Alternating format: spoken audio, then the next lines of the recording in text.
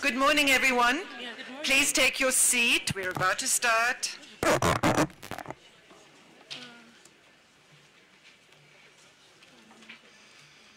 just need the agenda in front of me.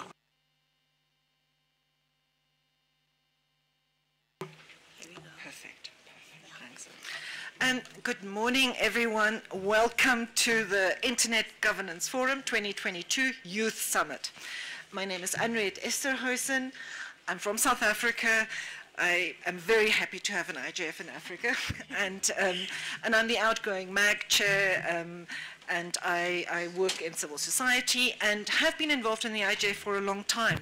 So I've had the honor and the pleasure of seeing the youth caucus and the youth community in the IGF just grow from strength to strength. And I also have to, and I don't think it's inappropriate for me to say that the African youth have been a particularly strong force in the global IGF youth.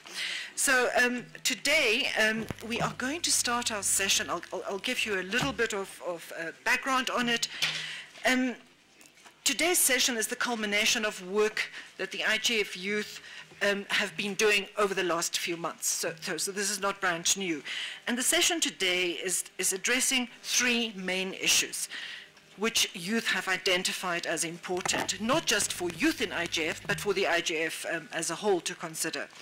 Firstly, the opportunities for social prosperity and digital transformation.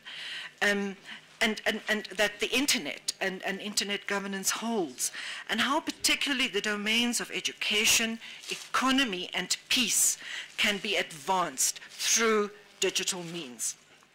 Secondly, um, we also have to look at challenges. What are the challenges that are preventing people from fully benefiting from digital transformation opportunities?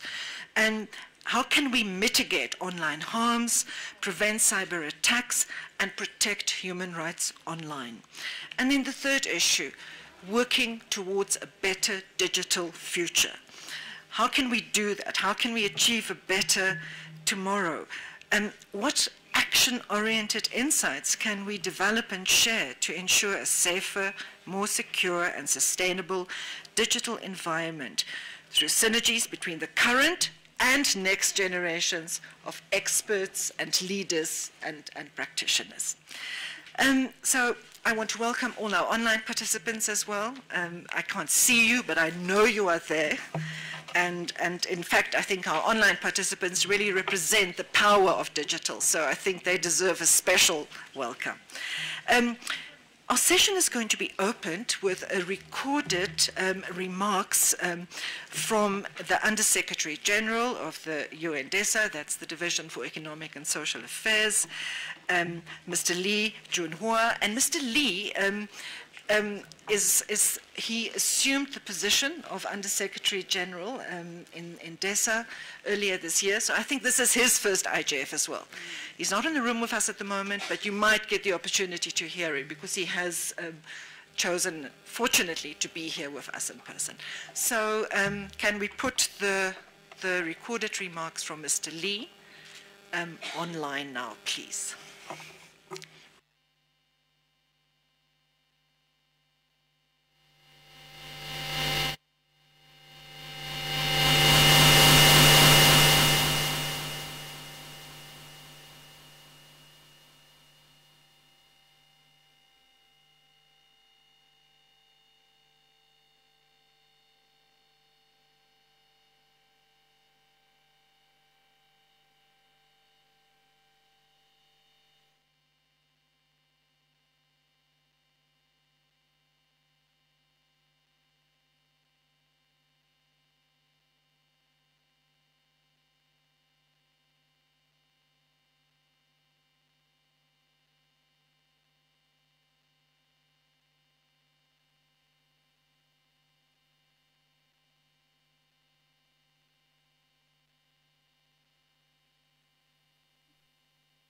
Distinguished participants, ladies and gentlemen, my dear young friends, I'm pleased to address you on behalf of the United Nations. At this year's IGF, one of the strongest partnerships has been with young people coming from around the world. Thank you for your hard work. This 17th annual meeting of the IGF is being hosted on the youngest continent of all. Over 60% of the people living in Africa region are below the 30 years of the age. People under 30 are around half of the all people living on our planet. Your voice must therefore be heard. This is even more true for discussions on our digital reality. Your generation makes up the largest group of internet users. Digital is your lifestyle. Mobile and computer devices are your access to information, education, social, economic, political, and cultural life. Advanced digital technologies such as artificial intelligence, the Internet of Things, blockchain, robotics, quantum computing, and others are becoming more and more relevant to you. Dear participants, dear friends, digital transformation has been changing many areas of our lives so quickly that we are lagging behind in regulations. We need to ensure that this and similar technologies are safe to use. At the same time, we must ensure young people have access to them and importantly, know how to use them. Let's call for an investment in human capacity, digital infrastructure, reliable devices, and digital literacy. It is an investment directly shaping your present and your future. The IGF is a unique platform to address this challenge. At the IGF, you can meet different stakeholders from different regions and ensure your voice are heard by those who can make a change now. It is also a platform for you to connect to others and learn through the exchange of the good practices. Please use today wisely and actively. As the internet generation, you are its ambassadors. As you advocate for change and progress, please don't forget those deprived of accessing or using digital technologies whether among your peers, older persons, women and girls, persons with disabilities, or people living in remote and rural areas. Remember that your voice stands also for those who cannot be here. They speak through you. I look forward to your deliberations. Thank you.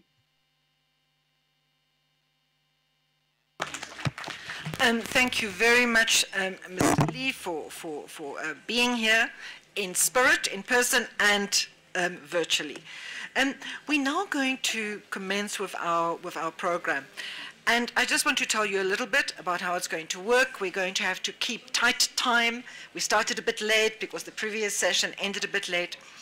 And we're going to go through the three themes that I highlighted. For each theme, we'll have two speakers who will give very short inputs, and then I'll hand over to, to members of the youth community who will then moderate um, short interventions from the floor, from participants remotely, that have to be restricted to one minute each, max. So I'm still going to keep time, even if they are moderating. And, and our first topic that we're now delving into is opportunities for social prosperity um, provided by digital transformation. We have two speakers here, and I believe one is in the room already. Barak. Barak is here. So I'm very happy to pass on to a colleague that I respect hugely, that I've worked with for many years, Mr. Barak Otieno from Kenya, and he's chairman of the board of trustees of DOT Africa, the DOT Africa Foundation. Barak, over to you. Thank you very much, uh, Henriette, and uh, good morning, good afternoon, good evening, everyone, especially for those that are following us online. Um, my name is Barak Otieno, as I have been ably introduced.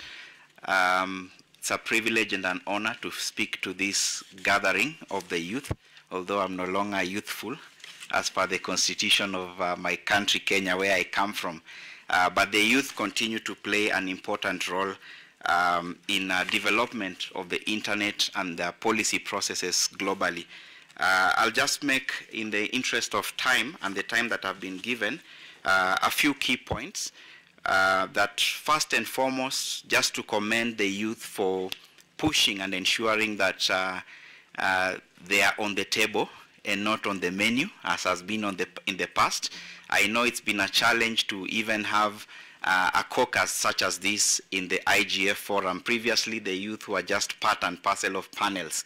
But I think now the voice of the youth is being heard in a very big way. Uh, I think at Africa Internet Governance Forum, MAG, there's a position for the youth, and so is the other um, national and regional initiatives in other parts of the world. So congratulations to the youth. Uh, I hear a common saying in Kenya where I come from that power is taken, it is not given. Uh, but I think even when power is taken, it requires a lot of responsibility.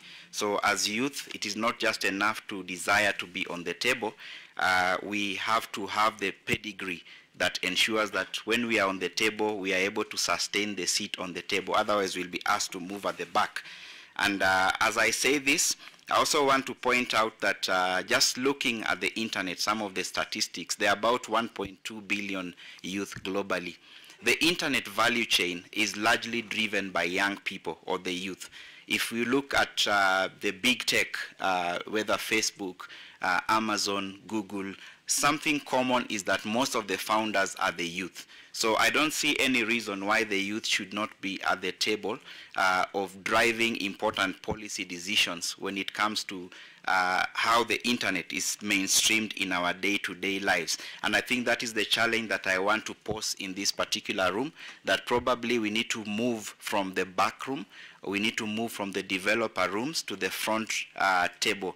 We've seen cases in which uh, big tech have been summoned by Congress in the US and in many other countries because of digitization, because uh, the things that we are developing in the back room have a great impact on societies. We can see that uh, if we take cumulatively how some, the amount of money that the big techs are making uh, the equivalent to GDPs of some of the countries uh, in the continents that we come from. So we can no longer underestimate uh, the, what we, the, the shift that we are causing in the world. And I think this is the challenge uh, that I really want to pose to us who, is, who are in the room, that even as we develop the apps, even as we develop the solutions uh, that are driving marketplaces and that are driving economies, it's also imperative and important that we start understanding um, policy and political frameworks that determine the acceptability of uh, the different solutions that we are developing.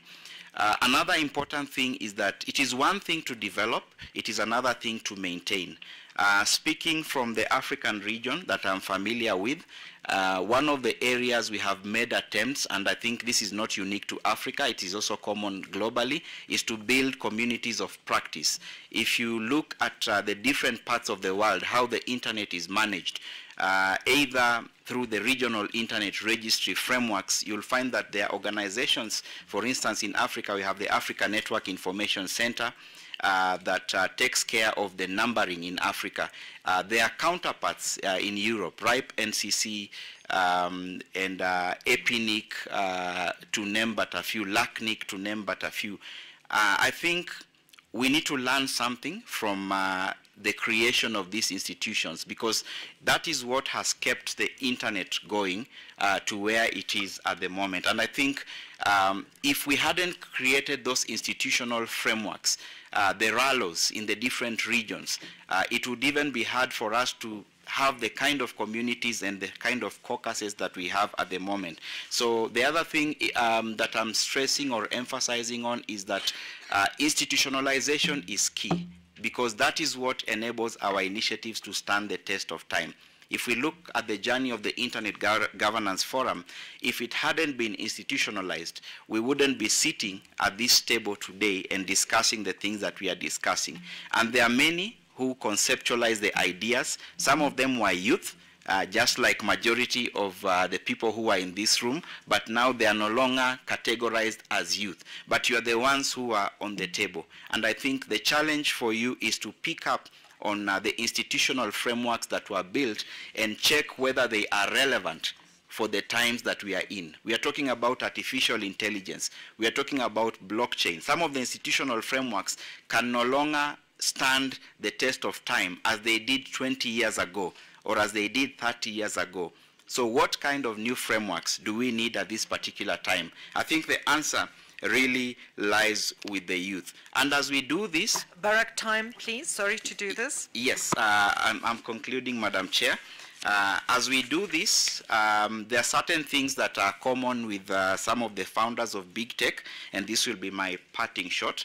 Uh, I think uh, definitely hard work, and most of you are here because of the hard work that you've been doing, uh, will obviously be key uh, in us uh, taking this power or taking the seat at the table. And then being men of our words. The internet is about trust. If people can't trust the product or solution that you are deploying on the internet, uh, then uh, likely uh, your solution will not uh, stand the test of time. Then we need to be good uh, resource managers. As I have mentioned, uh, maintaining institutions, maintaining businesses requires more than youthful passion. It requires skill sets that have to be earned you need to identify the right mentors, or we need to identify the right mentors who will drive us to the place that we can be. And of course, we need to learn from the mistakes that I've done in the past. I conclude at that. Thank you, Madam Chair. Thanks very much, Barak. Um, and I, will just add that I think the institutionalization that, that Barak mentioned, we need not just in the technical sphere or in the internet marketplace. We need it for digital literacy. We need it for political participation, for democratization, for content creation, for journalism, for women's rights. Um, so I think we do need to work and institutionalize our work. Just working as a collective of individuals is very powerful, but we need to integrate institutions and government, of course, is one of those institutions, I think, that we also need to, to work with and infiltrate.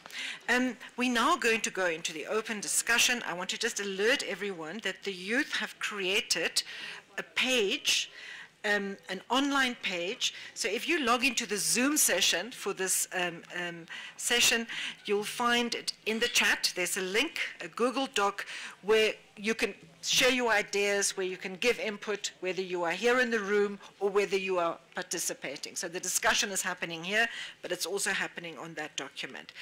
So I'm now handing over to the open discussion on this topic um, to um, Ms. Emilia Zalewska, who's the Polish IGF Youth Coordinator, and the ISOC, ISOC Internet Society Foundation um, Youth Program Lead, my country person, um, Marisha Abdul um, Chilunda. So Marisha is with us online. Emilia is here with us in the room. Over to you. Okay. Um, I will allow Emilia to go first, and then I will follow after. Emilia, the floor is yours. Marisha, just to tell you, your mic might, if you can switch your mic a little bit, so we, we heard you, but we could hear you better. So just for, for your next um, input, go up a little bit in your mic. Okay, uh, thank you very much for the floor. Uh, yeah, I think it's... Uh, no, it's still not working well, so just switching mics.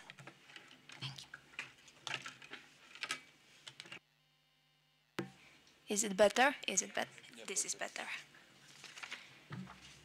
Okay, thank you very much for the floor. Uh, and uh, it was really a great uh, pleasure to listen to Barak, Mr. Barak, who told so many kind things about youth participation and it is also great to see that there's so much things done for youth participation in Africa. I think it can be a role example for all our countries that we can follow.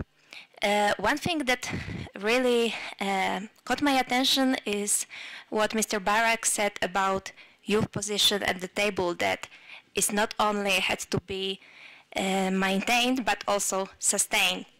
And I think it is something very important we have to uh, remember about that even if you get the attention, draw the attention of other stakeholder groups, it is not uh, gave, uh, given forever.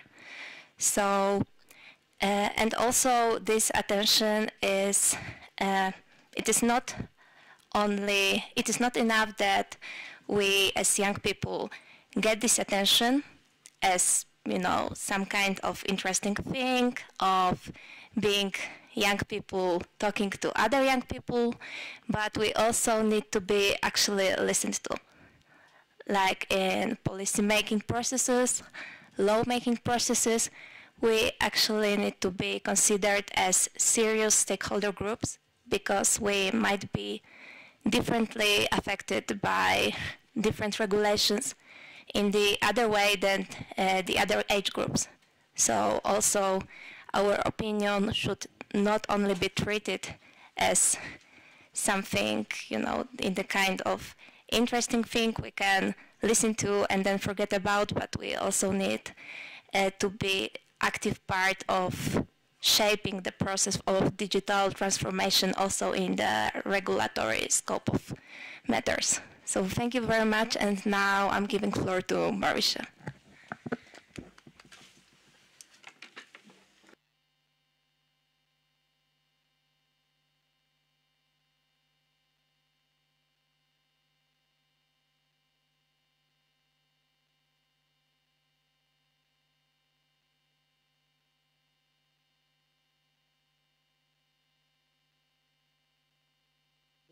Excluded or those in remote areas. Uh, Marisha, we can't hear you. Um, just check that you're unmuted. Uh, I am unmuted. Are you able to hear me? Now we can hear you. Please go ahead. Thank you so much. Um, once again, thank you to Mr. Barak for his contributions this morning. And thank you so much, Emilia, for opening up our open discussion right now. A direct question to you, Mr. Barak. Um, often we speak about including youth at the table, and that is fantastic.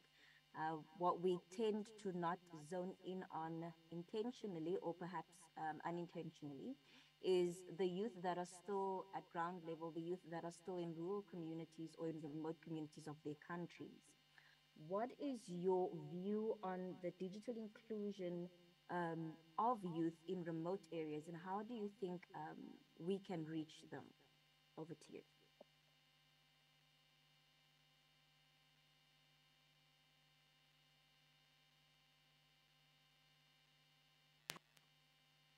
Um, Barak, did you get that? There was a question for you.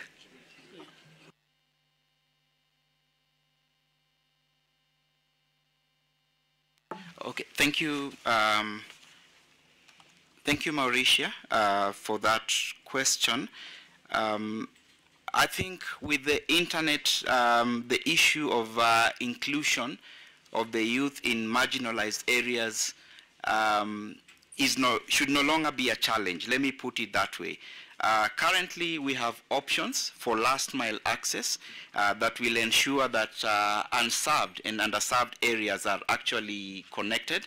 And uh, I'm sure most in the room here are already familiar about um, the community network movement that is largely championed uh, by the Internet Society, I believe, for which Mauritia uh, you represent. And uh, now we have models that can be able to uh, guarantee inclusion of um, the youth in unserved and underserved areas. And when I say guarantee, there's still some work that needs to be done at a policy level and um, also at um, technical level. At policy level, we need to really consider uh, the mechanisms that exist uh, that have been um, uh, used as a basis for allocating and managing spectrum in our respective countries. Uh, if you check keenly some of these mechanisms, they focus on areas that are profitable as opposed to uh, areas that um, uh, probably uh, may not uh, bring a return on investment to these commercial investors. Uh, but looking at the history of the internet, it's important for us to note that the internet was largely funded or developed uh, using public interest resources. Uh, if we look at the US, a lot of public money was used either from the National Science Foundation or the military to build uh, what was the initial design of the internet. And I don't see why the focus should then shift to commercial uh, interests, which then cut, cut out large masses of the population that are considered unserved and underserved. So I think the challenge to the room is that we need to interrogate the policy frameworks within our respective countries and see whether they look at spectrum and uh, internet resources from a purely commercial standpoint or as social goods, which can be used to make sure that everyone is included. And secondly, because I believe there are many technicians in this room we need to move from the comfort of the cities. We need to move from the comfort of our keyboards and really go to our rural areas and build infrastructure. Looking around this room, I can see very learned people and even on the online list who can actually go out there and make sure that infrastructure is built. As a matter of fact, uh, if you look at the history of internet and you look at initiatives such as INET by the Internet Society, there are people who traveled all the way from the comfort of their homes to different parts of the world to ensure that internet infrastructure was actually built and uh, deployed. And as I speak, uh, I'm a community network champion. Uh, running a community network known as a HeriNet in uh, the western part of Kenya and uh, just ensuring that we are leaving no one behind and that the internet is for everyone. So it's not a question of talking.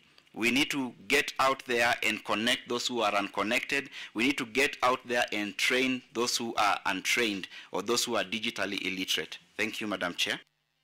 Thanks, Barak. And I think that's the perfect way to close this this section on looking at opportunities. Um, we have to create our own opportunities. We have to connect ourselves. Um, we have to collaborate. I think it is about policy and doing advocacy for, for policy that will enable these opportunities that digital transformation hold to be realized. But if we don't take action individually, um, nothing will change.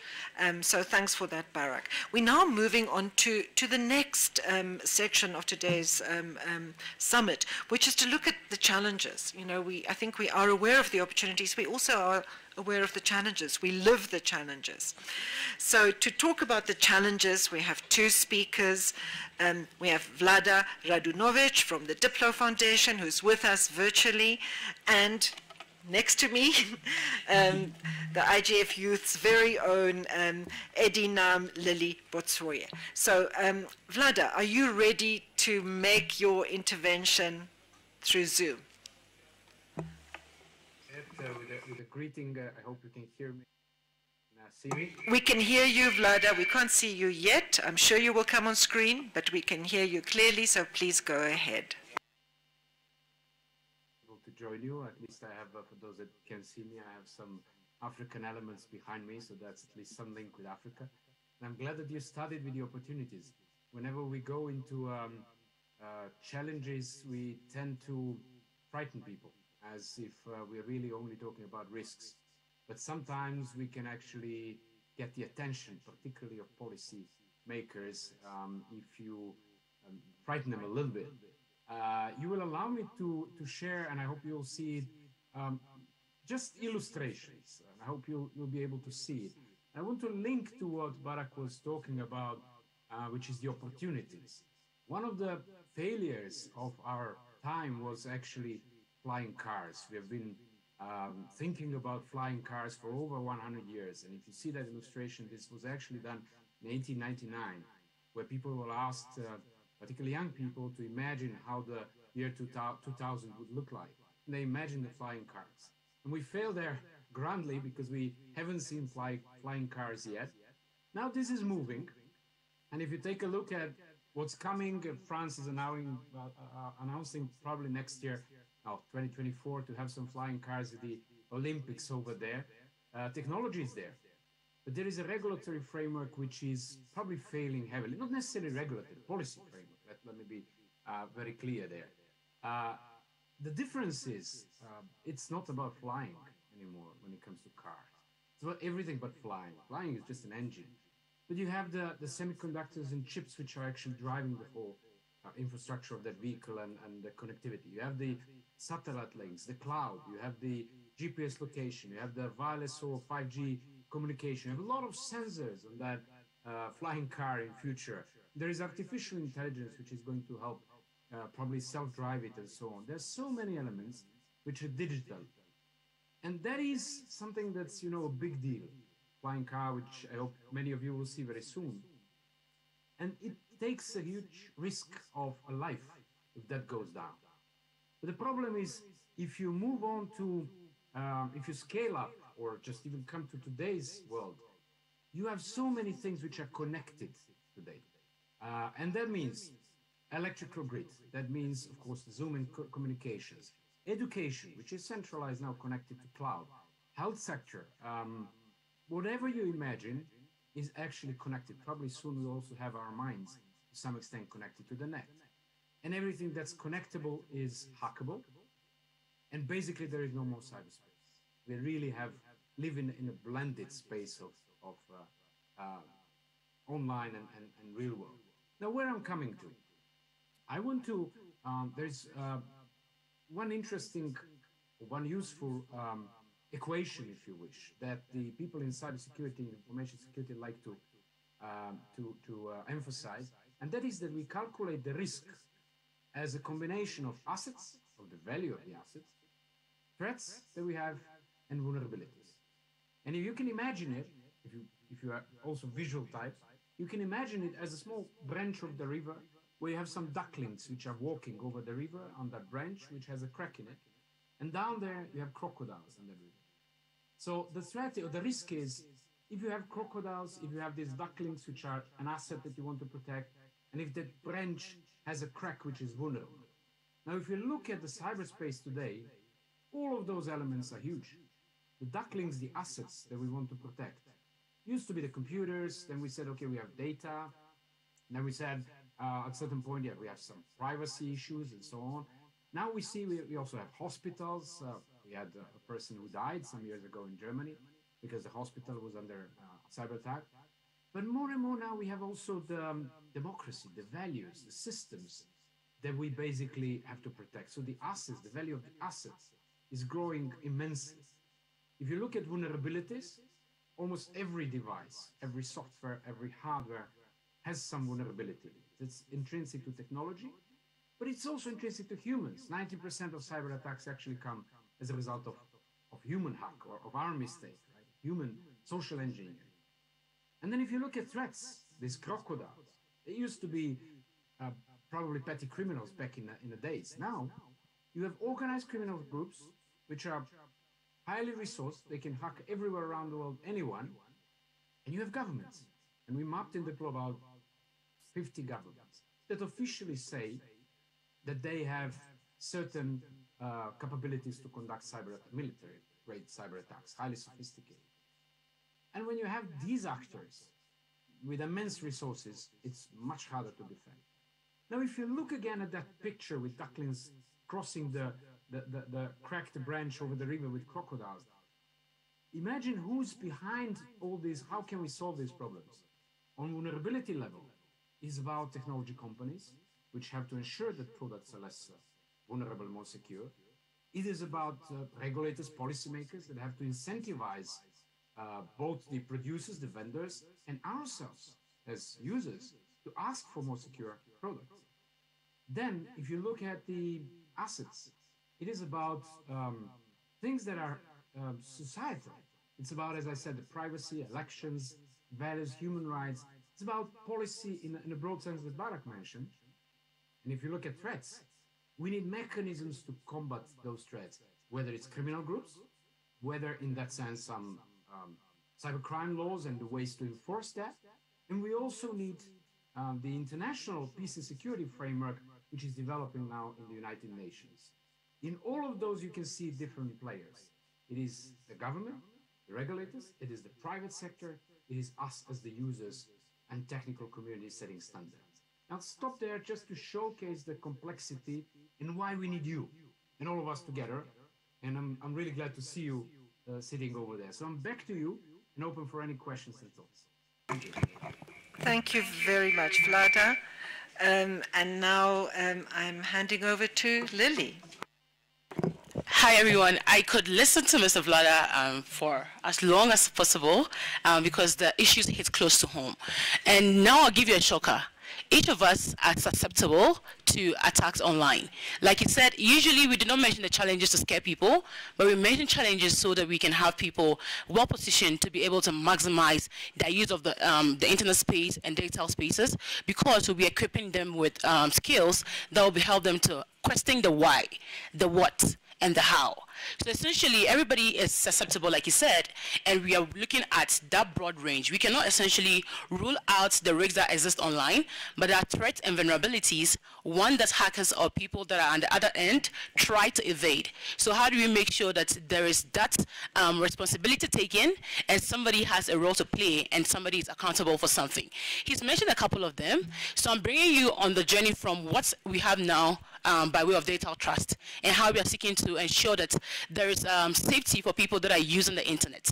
So one thing I want you to remember out of this session is that even though we are all susceptible to attacks, uh, attacks online, and it does not, it shouldn't deter you from being in the online space, the reason is because there is there's responsibility for us to play, for government, for manufacturers, and for international bodies, like you said. Now we have the issue of cybersecurity from the past, which essentially looks at how we are safeguarding the cyberspace, um, the devices that are uh, produced and all of that. And now we are looking at the human rights part, which deals to a large extent on privacy and how we can protect people's rights um, on the online space. So think about what um, the devices that are protected and also you who are the user and how you are also going to be protected.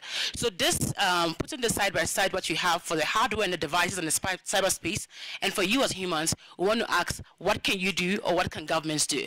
Now essentially you'll be hearing about legislation and policy. Think about it. Without policy, all the ills offline are only augmented in a giant network like the internet. So if there's no policy, we are, re we are reinforcing the biases, the injustices that are offline. So looking for things that are guiding the use of technology so that it serves us um, in, the, in, the, in, a good way as humans. And, and the other part that we look at when it comes to legisl legislation is what government and um, blocks across the world are working on when it comes to just um, conventions for personal, um, protecting personal data and for cybersecurity in the sense. So your role, because of mentioned human hacking and social engineering, is that do we have enough education um, for us to also be data literate so much that we can protect our own use of the internet. So there is uh, a blend of responsibilities and we are opening up the conversation based on what to be coming up to see who has a role to play and where we can start from based on what we know um, by way of the protection that exists currently and how we can build on that. Thanks very much, um, um, Lily. And I, you know, I just, I'll just say about policy, I think there are just two buts. I think, firstly, how is that policy made? Was it made in a way that was inclusive, that involved the views of, of those that have to comply with that policy? I think that's very important to remember. And was it made in a whole of society way? You know, was, was security and securing the assets that Vlada uh, described so well. Is that policy just about regime security or government security, or is it about security of, of the internet and people's information and communications? And then the second but, but is, do our institutions, our governments, our regulators, our companies, particularly the, the ones that are in, in the global south, have the capacity to implement that policy. Mm. So many developing country governments are burdened by complex policy frameworks that they then struggle to implement effectively because they lack the capacity. So just a bit of a reality check there from me. But for, to give us some more input on this topic, we, we're going to the, to the youth now. So we have Toko Mia, uh, Toko, I don't see you. Are you here in the room? And I know, Roman, you are here with us. So, Roman, why don't you go ahead? And then we have a little bit of time. So, we're going to open the floor. If anyone else wants to make an intervention, you can start by, I think, raising your hand, or if you're online, raising your hand online. Um, and we'll have very short one minute inputs. But let's first hand over to Roman who is uh, Roman Chukov, who is the Youth IGF from Russia coordinator. Hello, everyone. It's a huge pleasure and honor to start uh, this experience in Ethiopia uh, with this youth component, and thanks to the organizers, the secretariat, and to all of us who worked uh, to make it happen. Uh, very interesting interventions, very new, fresh ideas, and very good to see that young people here are sitting on the table and not on the menu, you know, when, when we are uh, not participating in decision making. Of course, I wish that um, our participation was even more meaningful and that uh, it could result with some um, forthcoming plans, roadmaps, action plans, and I believe that we are capable of doing this. Uh, also, what we are capable of? Well, we are capable to ensure that in our countries, young people receive access to technologies. We are lobbying for this, uh, even in Russia, you know, with the highest possible internet penetration in our region, we still have uh, schools or remote areas where we need to work in that direction, and I really call upon everyone that this is the priority number one, to ensure that everyone uh, from the youth is connected. Second, I believe that um, in order to uh, prevent the pandemic of happening online, uh, we all be very careful and we should educate the new generations how to uh, use the internet uh, safely. And um, all of us also can work together to ensure uh, youth position and youth vision to be included uh, specifically and uh, how say comprehensively to the Global Digital Compact. Because as I see this is maybe the first opportunity for us to act together as one as one uh, youth voice. And to show our ideas, show that we want to have new frameworks as it was outlined uh, by the first speaker, uh, new, uh, let's say, rules of the game with a clear role of young people. So I believe that the most interesting process is ongoing and just starting now. So I wish all of us good luck and lots of energy and passion to drive this forward. And uh, thanks to Anriette and our uh, mentors and colleagues who are always taking care of us. And uh, I imagine that together we can make it. So let's wish us all luck. Thank you. Thanks, thanks, Roman. You know, we, we take care of the youth because they take care of us when we are older. I'm saying that as, a, as, a, as an older person who takes care of my 91-year-old mother, and my children know they are on the line. um, we have a bit of time, so is there anyone, before we go into our next uh, um, speaker, um, anyone who wants to make a very short input or a question for one of the speakers, you know, for Vlada or for Lily or for Roman? Oh wait, Toko, you've arrived. Um, so um, you can settle down and breathe a little bit. Is there anyone else who wants to make an intervention or have a question? There's a question. Just switch on your mic, introduce yourself, and be brief. Okay, my name is Jose Fisaja. I come from Chad. I would like just to follow up uh, our discussion we had in uh, Malawi during the IGF, Africa IGF. Uh, uh, I would like to know what is the next, I mean, the step of our engagement as a youth. Should we continue to advocate like this, or should we advocate to be recognized as a former stakeholder? Because I mean, having young people among uh, governments or private sectors doesn't mean these young people can advocate for our rights.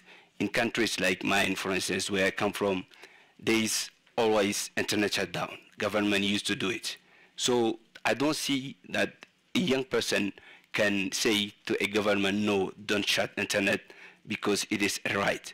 We need a formal seat for young people among the global MAG IGF. And Anja is here, so I think you remember about what we have said, and I want you to uh, uh, take this into consideration.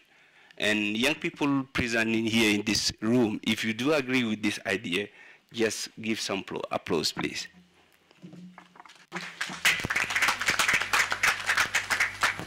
Thanks for, for that question and and we'll, we'll we'll come back to it. So let's continue the discussion. We have a few minutes. Um, next person, just also introduce yourself and be brief. And Anja, maybe you can gather your thoughts, and I invite other people who are playing a leadership role in the youth to think of a response to that very important question. Go ahead. Um, hello, everyone. Mariam Benaissa from Tunisia, um, digital rights activist and gender-based cyber violence researcher. Uh, my question is, uh, how much are we doing to engage youth? Are we using, um, in our project, in our intervention, youth-friendly approaches? Because um, the topics related to um, internet governance and um, online violence I'm really glad to see all of these youth gather, gathered in this room, but usually they do not really attract many youth. Many of the youth are not, they do not understand what does it mean. They do not understand or know um, how to uh, be, how to take part of this topic, how to intervene, how to participate. So how much are we doing to um, help them be engaged, to understand and uh, to what level are we using youth-friendly approach?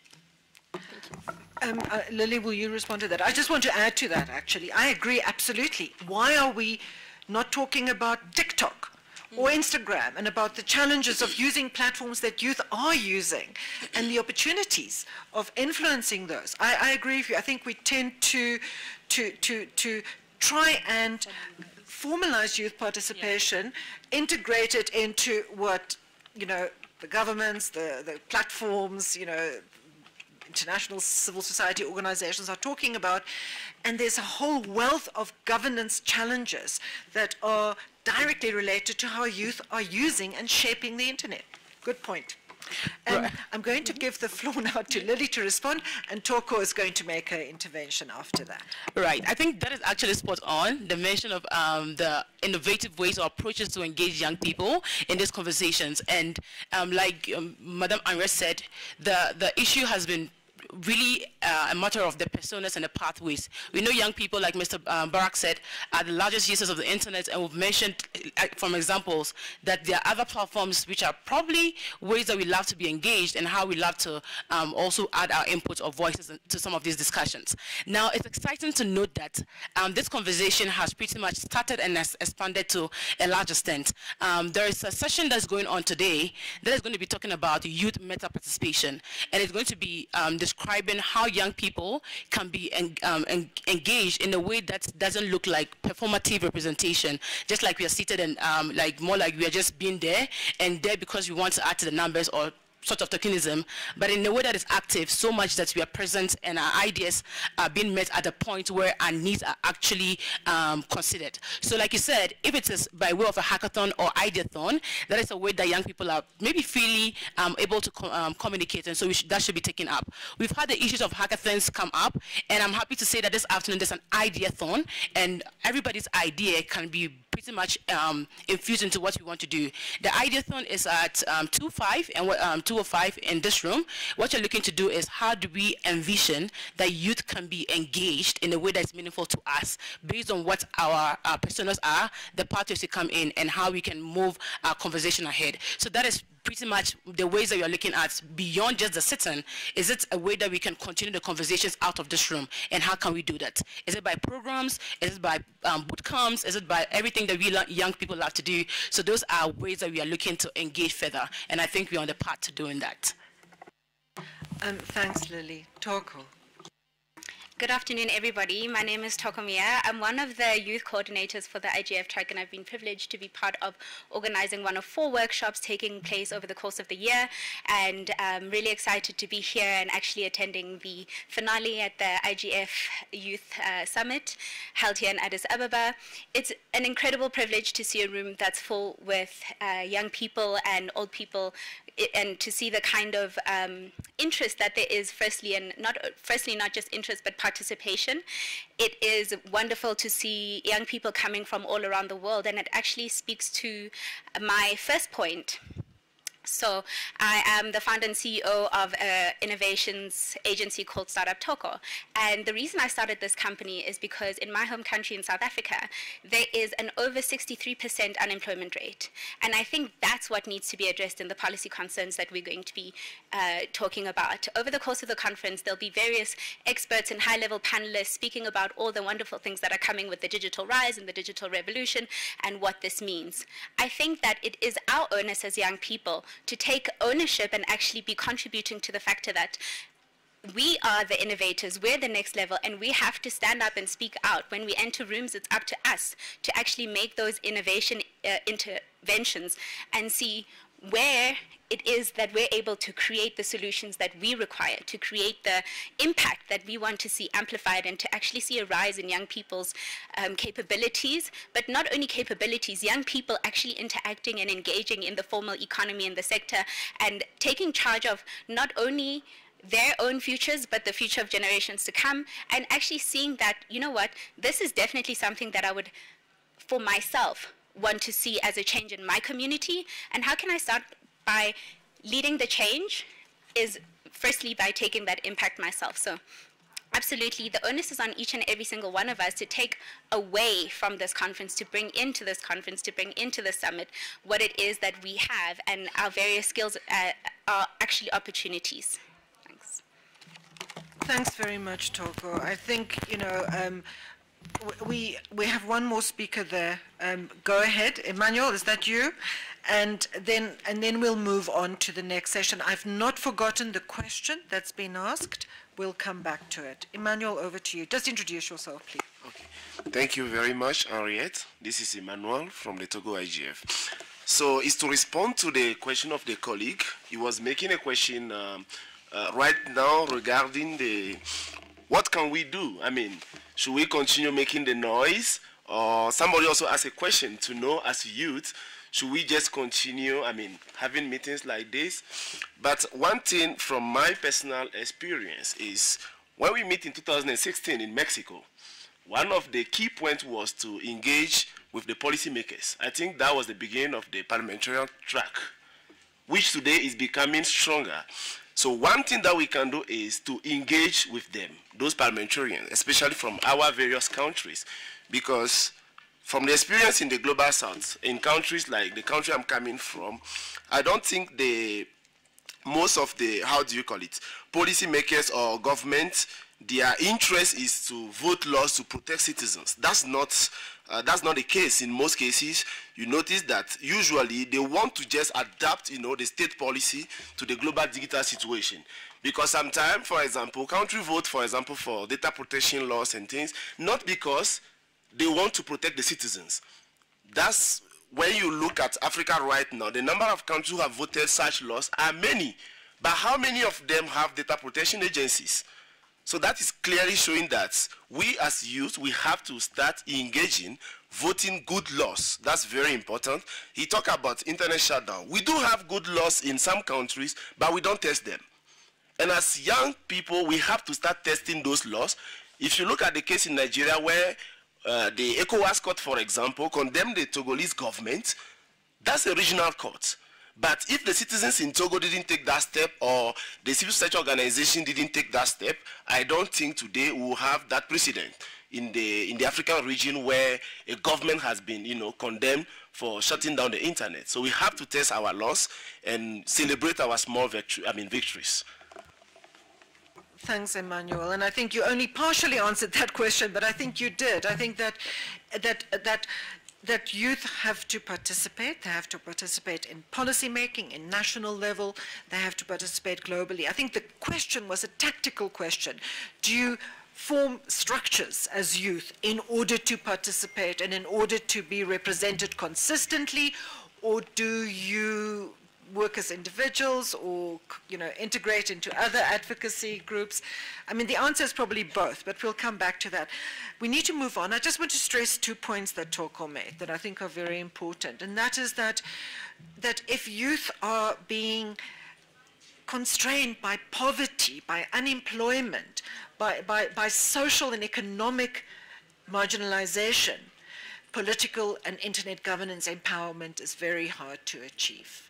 So we, we're never really going to have an empowered youth participating in a youth-sensitized internet governance if we don't address those underlying social and inequalities. You're never going to have young women participate in internet governance actively if women do not have equal rights. So, so I think that's just important for us to be reminded that, that the struggle has to take place also at that base level of creating more, more, more equal um, and more just societies and economies.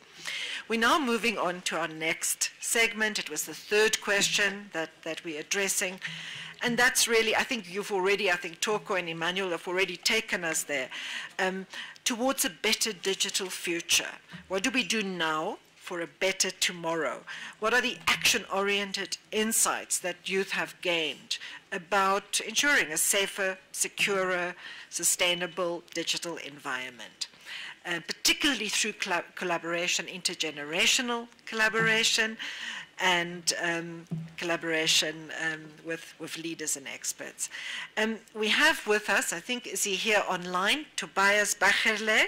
He's a member of parliament from Germany. Um, Tobias, are you with us? Yet, yet from Berlin. He's with us online. Um, please go ahead, Tobias. Yeah, thank you, thank you very much, and uh, all the best from from Berlin. I'm, I'm sadly only joining you uh, tomorrow on site. Um, we can't hear you yet. Can the tech um, team just assist, please?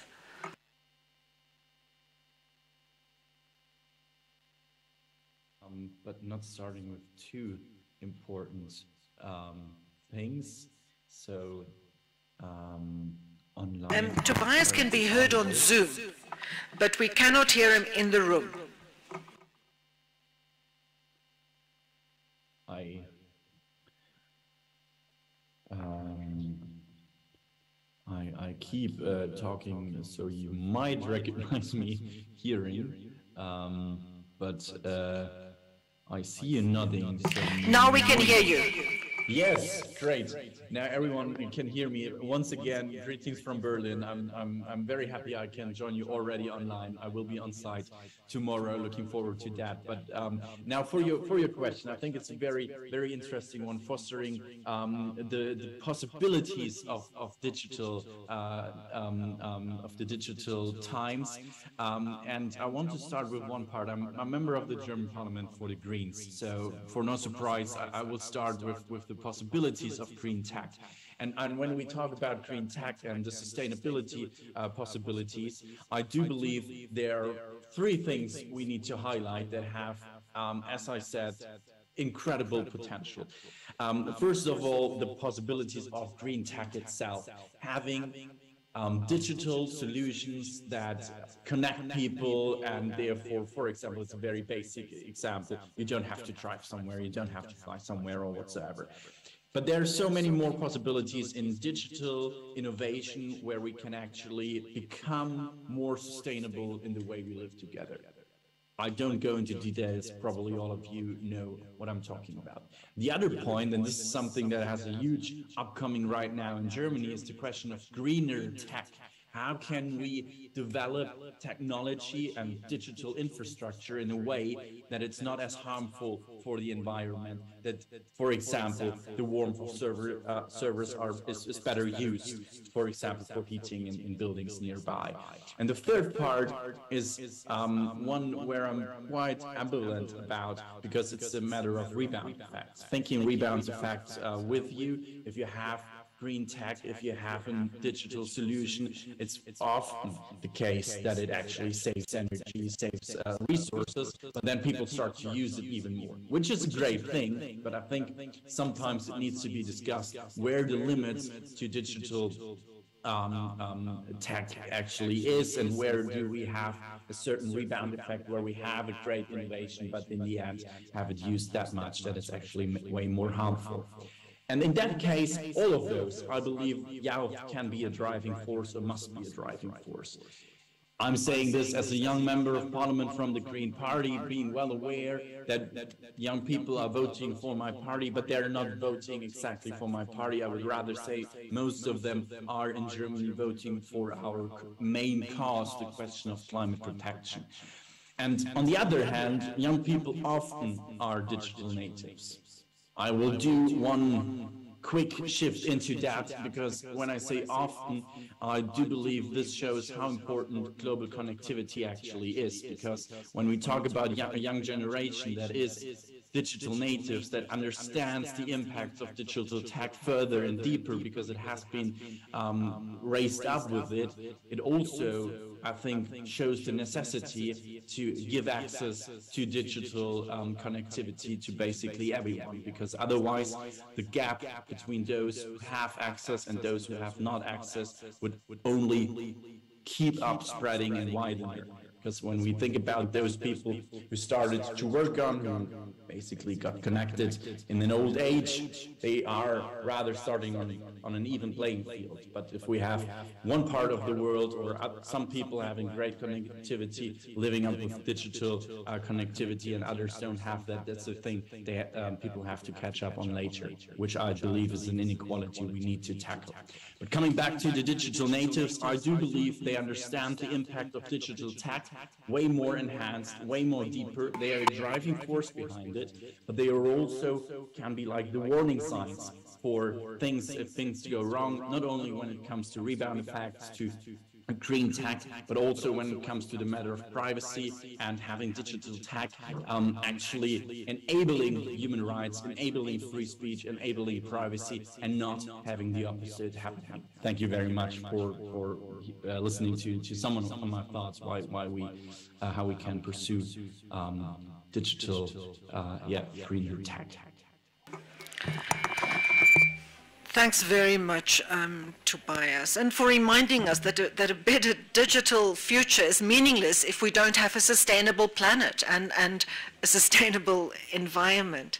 Um, next, we have um, Jenna Fung, who is the regional coordinator, youth regional coordinator from the Asia Pacific Regional Internet Governance Forum. Jenna is with us online as well. Jenna, please go ahead. Let's hear from you. Thank you very much. Can you guys hear me? We, we can hear you.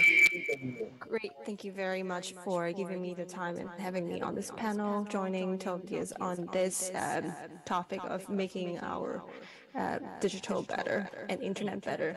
Um, I, I believe like Tobias covered quite a lot of area about how we can make our internet more like safer and uh, more secure and sustainable. So I was actually would like to raise two points that um, we have got from the youth in Asia Pacific two months ago in Singapore when we have the youth IGF there. Um, I think there's two points that youth would like to bring um, and contribute to the process in making our internet better and our digital better by um, uh, closing the gaps in knowledge and mutual understanding between generations in the internet governance policy making community as well as developing a decentralized supporting models for meaningful, meaningful participation. Because IGF itself, it's a complex ecosystem. Without participation from all stakeholders, it, it won't thrive as how it's supposed to be.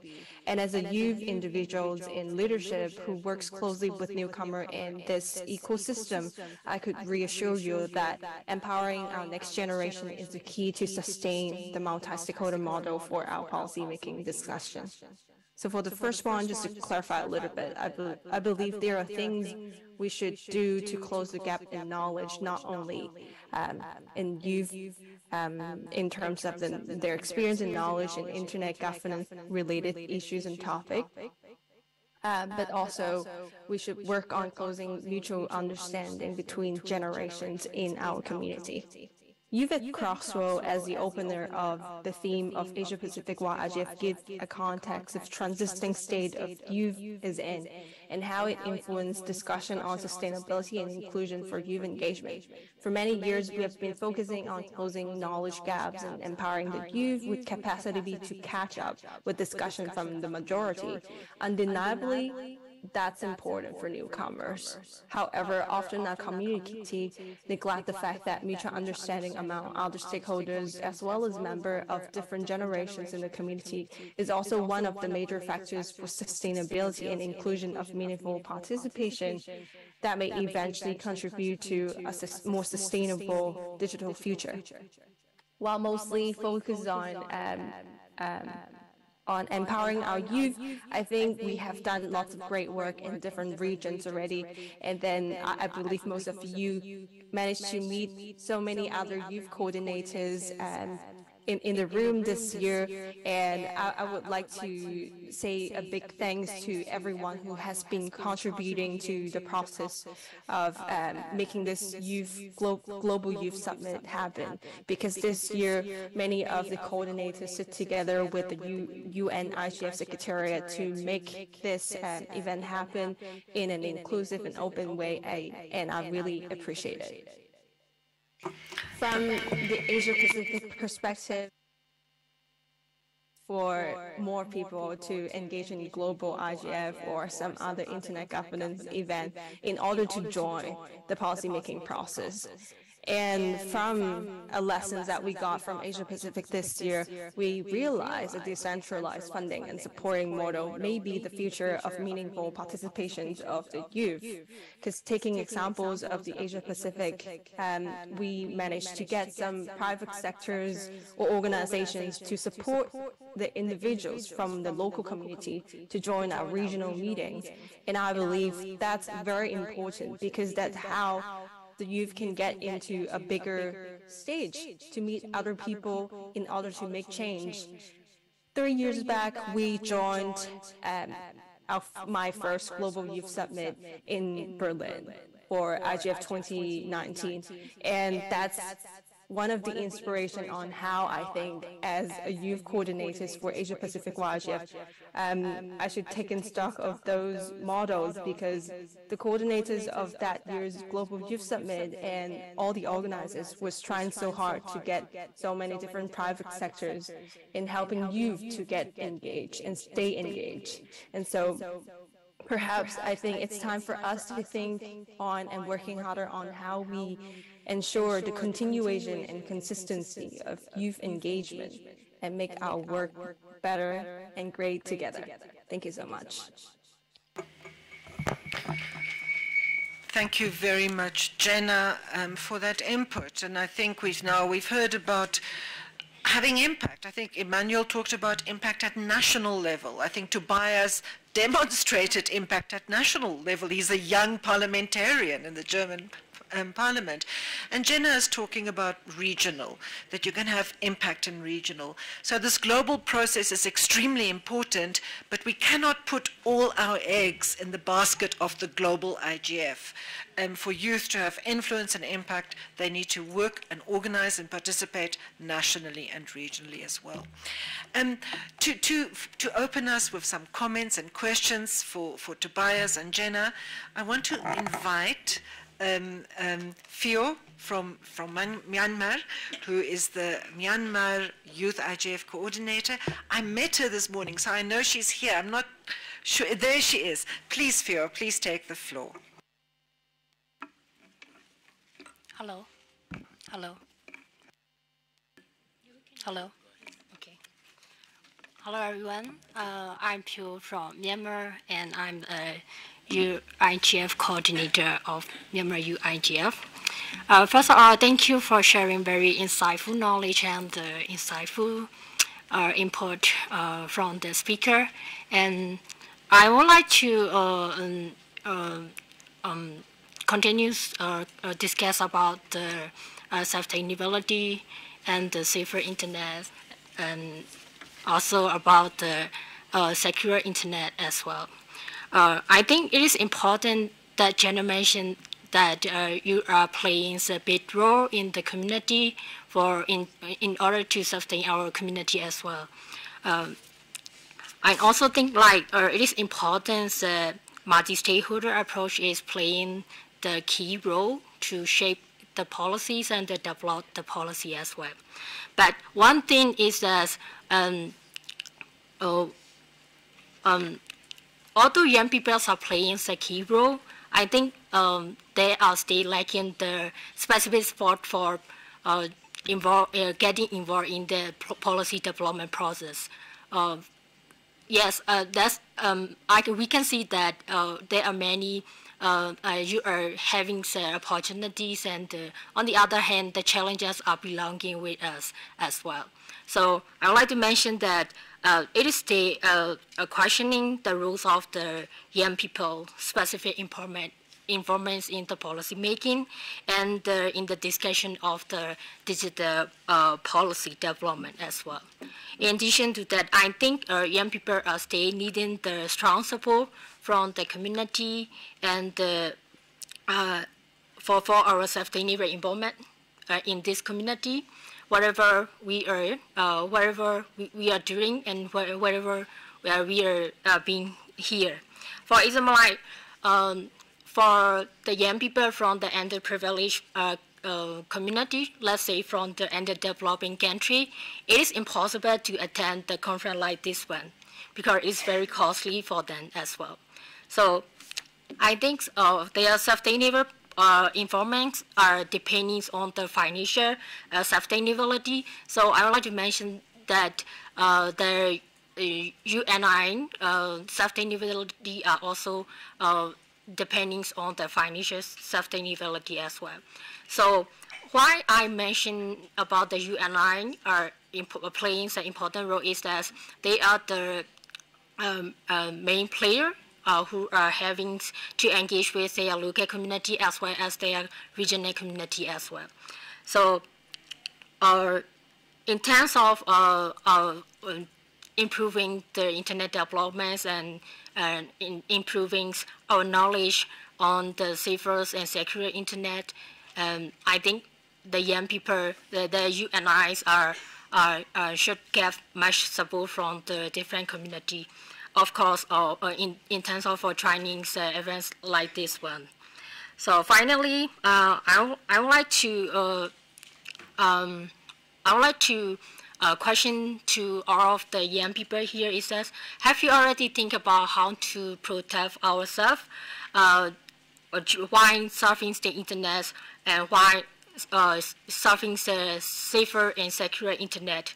Have you already talked about how to how we can protect ourselves and have you already uh, uh, have you been talk uh, think about how we can advocate and educate the end use uh, people uh, from young people how to protect themselves online?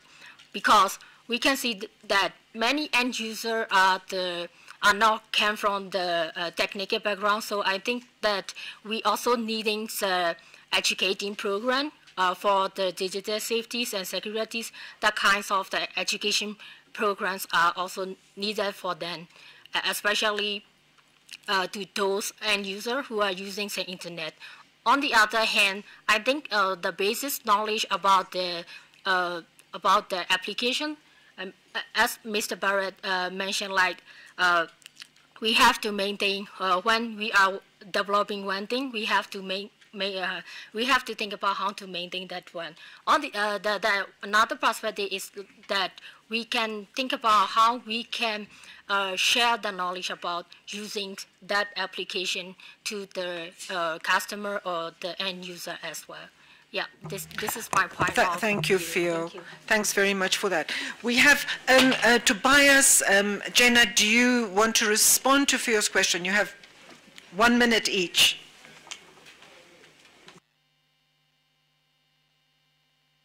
Um, digital literacy is key, um, and when you go talking about digital literacy in schools, I think that's also key. But you have always one problem: that teachers often are are old, they're out of university. First of all, you need to get the teachers back on track. They have to be educated and up front when it comes to disinformation on digital literacy and so on, and safety in the internet and everything.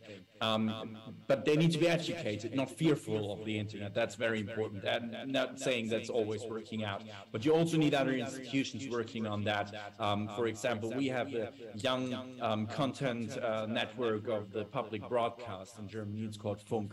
They have, have a um, educational purpose as well. And they're also doing a lot of things on safety in the internet, um, how to be safe in the internet. So those, I think, are, are two very important things.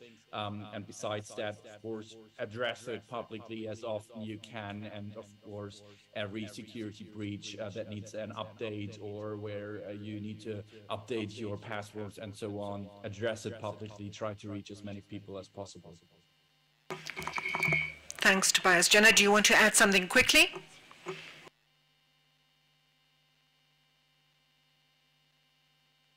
Literacy program or education process compulsory at school, like in the public education system.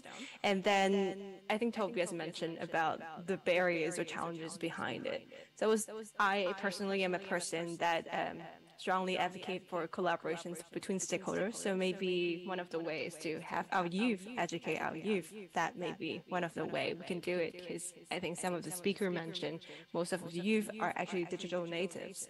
And then some of the youth are actually getting old and then they, they may have the experience to educate um, educate our next generation, which is like younger, because I think some of the people in Asia Pacific mentioned to me two years ago, we should start this digital liter literacy uh, education when they're young, like when when they're in primary school, not not when they're in university. So start early. Probably, I, I am confident that we may have the capacity to do this kind of education at a certain level.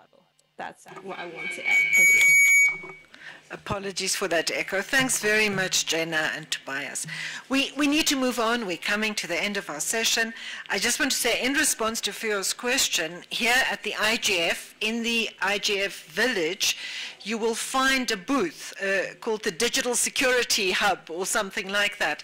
And what you'll find there is actually people that will help you with digital security, but also with green tech and sustainable use of sustainable energy and renewable energy with, with hosting and with technology. So anybody who wants to learn more about sustainable technology and also about digital security, there are people in the IGF village who can help you. Um, thanks very much, everyone. We're coming to the end. Um, next, I want to invite um, to, to the floor, she's with us online, Ms. Hilary Bakrie um, from the Office of the United Nations Youth Envoy. Hilary, are you able to join us and take the floor? Hello, can you hear me fine? Yes. yes. Great. Thank you so much. Good morning from New York, everyone. My name is Hilary. I am joining on behalf of the UN Secretary General's Envoy on Youth, Ms. Jayathma Wickramanayake, who unfortunately is not able to join us today. Uh, firstly, before I start, please allow me to thank UNDESA and the IGF Secretariat, as well as the host country for having us and for the Secretariat's commitment to highlighting youth as a critical aspect of this year's forum. So allow me to start my remarks by reminding all of us that we are living in unprecedented times and to also re-highlight some of the points that our youth speakers have raised uh, that our world today has not only the most educated and the most connected generation of young people that the world has ever seen, but also a generation who are living in a time of triple planetary crisis, pandemic, and also the threat of a global economic crisis. I want to highlight this because as we just heard from all the three different dialogues in this um, Youth Summit, we could instantly see that despite all this um, um, uh, challenges, young people, those who are present here uh, with you in the room, uh, online, as well as many others out there, are resilient, hopeful, and also resourceful. Um, as also highlighted in the early discussion, uh, digital transformation comes with a lot of exciting opportunities. Um, uh, just a few months ago at the Transforming Education Summit in New York, uh, young activists and teachers highlighted that it is indeed possible to achieve the highest aspiration for education uh, and lifelong learning if we ensure our digital transformations leaves no one behind. Last week at COP27, uh, young people called for democratization of technology transfer and accessibility that can, that can positively help us accelerate the just and green transition that our world desperately, desperately needs. I believe Tobias earlier also highlighted this on the point of green technology and how young people have called for it. Um, a lot of these exciting opportunities can be achieved, obviously, if we ensure young people are included as equal partners. I think that's the key word. Um, uh, to not only just be engaged as uh, participant, but also as equal partners because young people are the ones that can help shape the course of these opportunities for the better. And they are capable of leading not just as partners, but also as experts. And I'm sure you could agree to this after hearing all of the young people that have shared their intervention here today in the, in the forum, both online and offline. Uh, even here, as I said in the Internet Governance Forum, and uh, I think many of my fellow speakers highlighted earlier, young people did not wait and sit still, but uh, they also advocated themselves to be included in this table and many other tables, and also mobilized to ensure young people's participation in this forum is institutionalized. Um, However, I think it is also important for all of us to acknowledge that technology is not neutral and the internet being the lifeline of our digital transformation also increasingly face challenges that put a lot of young people as its users at risk. Um, earlier last year, our office uh, launched the Global Report on Protection of Young People in Civic Space, where the report highlighted that 78% of the youth respondents um, actually reported that they have experienced some sort of digital, digital threats. Uh, moreover, for young women and girls, this digital risks, as we know, are constantly increasing. In a recent survey, um, uh, I believe launched by Plan International, from 14,000 of young women and girls, 58% of them shared that they have experienced online harassment. Um, online civic spaces have also continued to face challenges, as many of the young speakers have also, and also the other speakers have highlighted earlier, with internet shutdowns continuing to exist, and increasing, and having preventing young people from exercising their rights. Uh, and further excluding young people from civic and political participation. Now, please really allow me to emphasize that to ignore the number of digital online threats and also to ignore the structural barriers that take place against the most vulnerable is to also turn your back on the world's largest generation of digital natives. Really, really need commitment and investment, um, as many of the speakers have highlighted earlier, directed to meaningful youth engagement to achieve this. Uh, we need a digital future that is not only inclusive but also safe, um, trustworthy, and also reliable. That can uh, an internet that can serve as the foundation of our lifeline for our digital transformation. And the only way to ensure this is by having human rights at the center of our global internet governance, and also inclusivity at the heart of our efforts to address this uh, the digital divides that still exist. Uh, at the UN, when the UN Secretary General presented his uh, proposal for our common agenda, um, human rights is undoubtedly the foundational pillar.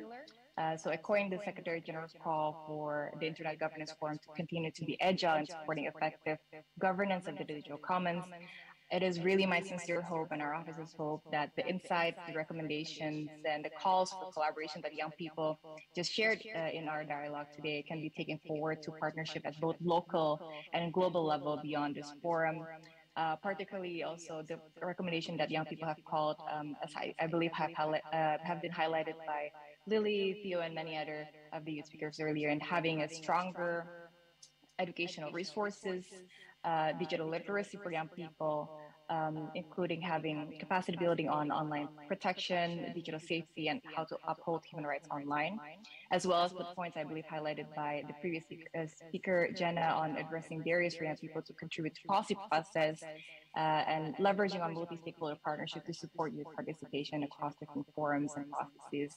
Uh, therefore, I really like to urge everyone, the young people here um, and everywhere, the policymakers, industry and institutional leaders, to also seed our common agenda recommendation um, introduced in the United Nations earlier.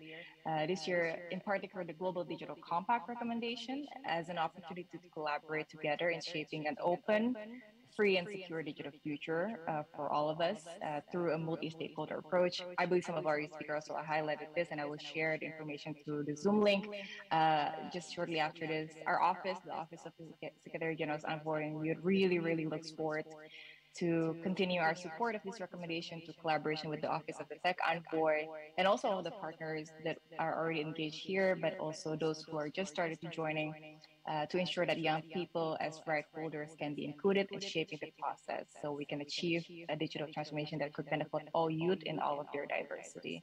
I thank you once again for having us and congratulations uh, once again for a very, very fruitful discussion.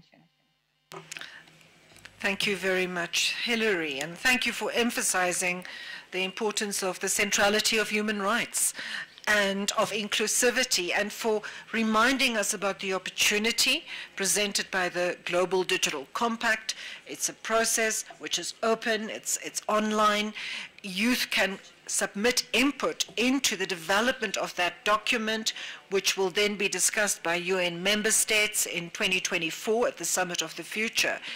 And that's an opportunity for you to actually draft input as a collective, but also as individuals about how you feel um, our global digital future, what principles it should be based on. Um, Lily has an announcement about what you can do if you want to continue this discussion online, and then we'll bring our session to a close. Right. Thank you, everyone, for your active participation and the input. So we want to have this moved on, and a way to do that is to continue the conversation and to essentially have our recommendations come to the forefront of discussions. So we are going to have some links shared via the mailing list um, that is the IGF Youth, where you you find a link for participation in the various groups that exist and how you can participate um, beyond this meeting. And for people who are on site, there's another one for people here in Addis Ababa, and there'll be some sessions you'll be invited to and meetings that um, you'll be invited to to just continue the conversation and pretty much to have the discussion move forward. So look out for those two. If you have any um, questions afterwards, you're not able to find the link, be, be sure to find me and ask for that. Thank you. Thanks, Lily. And if you are not yet uh, on the mailing list of IG IGF Youth, what do you do if you want to join that mailing list? Absolutely. So um, on the IGF website, there is the opportunity to, for you to find the mailing list. Um, the link, there's a link for you to just hit subscribe to, and Anja and her team will be able to have you up there in a day or two. Right. And I'm on that list, so I can tell those that are not young they let us older people on that list as well because you know empowering the youth is an intergenerational. We have the minister with us which is fantastic. Um, while lily is giving up her seat uh, i'm very honored to invite to give us some closing um, remarks. Um, the state minister from the ministry of innovation and technology. This is the ministry that is our host that has been working really hard to prepare and we've been on a panel before, so I'm very happy to have you here. Um, Ms. Huriya Ali Mahdi. Um, she will give us some closing remarks, um, and I am very happy that you came in time. So please go ahead.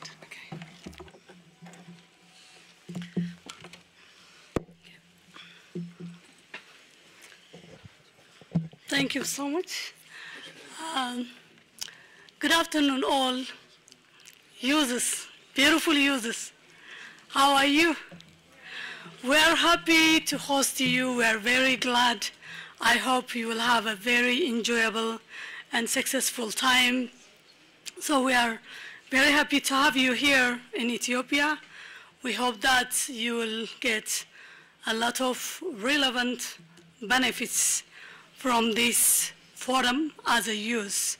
You know, you guys are the power for the world. So let me start my uh, closing speech. First, I would like to start by thanking all of you for participating in this historical event. So the speakers for their excellent thoughts, provoking talks, the moderators for organizing and maintaining the agenda using timely, reasonably I would like also to thank all participants. Your inputs to the workshop contribute immensely to the success of this panel. The IGF 2022 youth track aims at creating a set of activities to connect youth from around the world among themselves and also create opportunities for them to network with senior stakeholders experts, internet governance. I can say the IGF 2022 Youth Summit is a success and congratulations to all of you. I don't want to, to repeat summaries from this session's chairperson. Instead, let me try to share with you my personal takeaway from this Youth Summit. The digital transformation was among the topics of interest to youth. The capacity of development activities tackle specific issues nested under this bright theme. Youths are the power of today and the hope for the future. The youth agenda in the digital transformation programs is not for the sake of the youth purse. In fact, youths benefit from digital transformation. However, including the concern of the youth in digital transformation, agenda will help countries to realize immense powers and ideas which directly contribute to the, to the development of the country.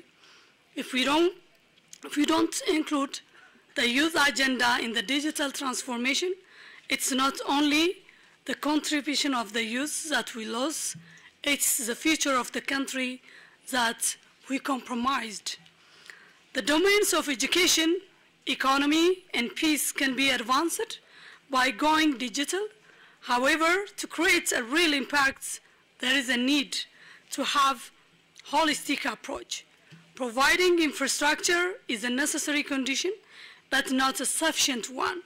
To gain the benefit skills, right content, and above all, affordable access is necessary. The digital transformation provides a real opportunity for social prosperity if all the components of the digital transformation are present, namely affordable infrastructure, relevant digital contents, and the right skills. Online harms and cyber attacks can also be the cause for not properly using available infrastructures. Such attacks can hamper the use of digital systems and cause further harm by inhibiting equal access and equal opportunity. Stakeholders should consider these facts to create an internet to benefit all. Ladies and gentlemen, the Youth Summit is very useful and should continue. I hope everybody agrees with me. Please show me your agreement by appeals. So I'm very happy to announce that the Youth Summit will continue and to be held in Japan next year in 2023. Wish you all the best. Thank you so much. Thank you very much, um, Minister Mahdi. I know how busy you are, so it means a lot to, to have you here. So everyone on this, we, we bring the session to a close. I think um, Minister Mahdi reminded us that we'll meet again next year, but I think the discussion demonstrated that there's much to be done in between. It needs to be done at different levels, nationally, regionally, globally, issue-based, um, but we also need to consider how we organize. So it's not just about participating, it's also about institutionalizing, as Barak said, but I'm using that in a positive way, creating structures that provide continuity for youth participation at different levels.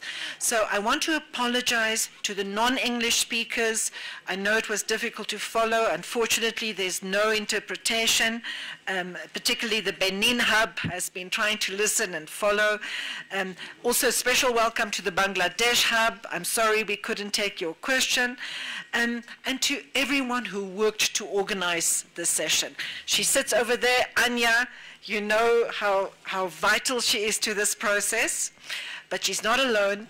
So please give a big applause to, to Anja and to all the IGF youth coordinators who are here and who are virtual. Thank you very much. The session is now closed. Can I just suggest one thing? Um, now that we have some time for lunch and we'll probably be walking that way, could I suggest to take a photo at the official booth uh, booth screen so we make it a, a little bit more official than the one that we made when we entered?